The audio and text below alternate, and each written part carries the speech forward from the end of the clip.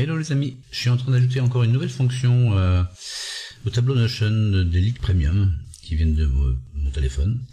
Quand on descend sur la, ligne ici, on a une nouvelle possibilité, de choisir un type de gamme et la tablature de la gamme apparaîtra automatiquement ici à côté dans la tablature. Exemple ici on a euh, un plan en country en là sur l'indicateur de Henry en seconde position. Je vais choisir mon type de gamme, la gamme majeure en seconde position par exemple, et elle va apparaître automatiquement à côté, ce qui me permet d'ajouter aux notes du leak, si vous avez envie de développer un peu plus le leak, d'ajouter des notes de cette gamme-là, et ça sonnera, vous aurez un leak un peu plus long, avec des notes qui appartiennent à une gamme qui va bien dessus. Bien entendu, si vous êtes en seconde position, ne choisissez pas une gamme en première position, ça ne veut plus rien dire. Il faut garder la même position, bien sûr. Après, vous pouvez choisir, par exemple, la gamme blues, toujours en seconde position, bien sûr.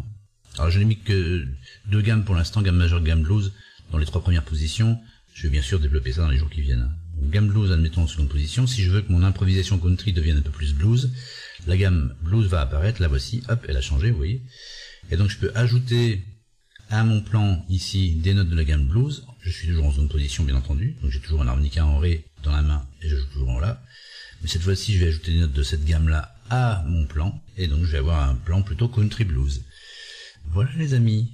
Euh, bah voilà, on se retrouve bientôt. Bye bye.